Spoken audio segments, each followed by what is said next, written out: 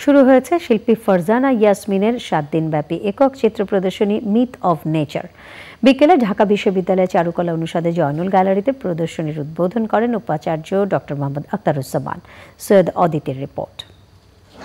ঢাকা বিশ্ববিদ্যালয়ের চারুকলায় শিল্পী ফারজানা ইয়াসমিনের একক চিত্র প্রদর্শনী মিথ অব নেচার। টেক্সচার ও রঙের ব্যবহারে প্রকৃতির বিমূর্ত সৌন্দর্য তুলে ধরেছেন শিল্পী।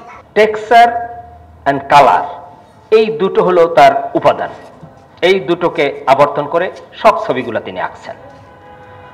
সে কারণে কোন কোন ছবির নাম দিয়েছেন ফরেস্ট, কোনোটার নাম দিয়েছেন বুশ, কোনোটার নাম দিয়েছেন বোট, কোনোটার নাম দিয়েছেন নেস্ট।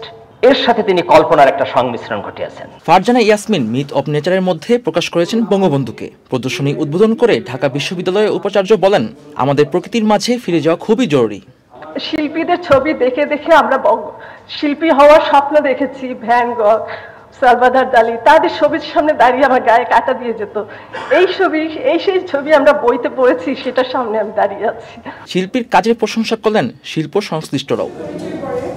অধ্যাপক ফরিদা জামান একুশে পদকপ্রাপ্ত শিল্পী। ও যেভাবে তুলে এনেছে আমার মনে হয় যারা ছবি দেখে এবং ভালোবাসে যারা মানে শিল্পী অর্থাৎ যে কোনো লাইনের শিল্পী যারা সৃষ্টিশীল তারা প্রকৃতিকেই ভালোবাসে। প্রদর্শনীতে শিল্পীর বিয়াল্লিশটি চিত্রকর্ম স্থান পেয়েছে।